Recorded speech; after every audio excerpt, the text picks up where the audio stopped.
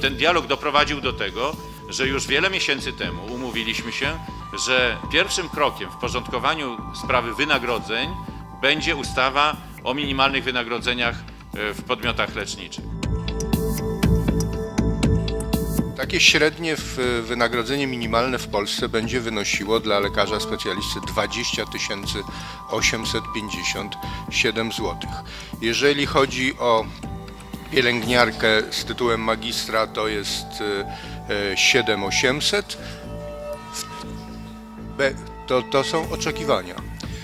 E, 7800 e, i jeżeli we, weźmiemy łączne takie wynagrodzenie, to jest e, 11, to jest 12 tysięcy złotych minimalne wynagrodzenie dla pielęgniarki z tytułem magistra. I kiedy będą tyle zarabiać? Panie ministrze, mam nadzieję, że kiedyś tak. Nie ma odpowiedzi na takie pytania jak czy minister zdrowia jest w stanie dzisiaj zadeklarować, że żaden szpital powiatowy nie zostanie zwolniony?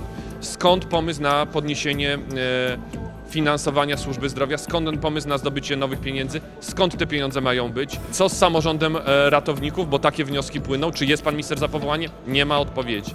E, Co z sytuacją związaną e, z e, funkcjonowaniem samorządów i współfinansowaniem świadczeń medycznych. Czy będzie udział w składce zdrowotnej dla samorządów? Brak odpowiedzi. Jest bardzo dużo e, pytań, żadnych odpowiedzi.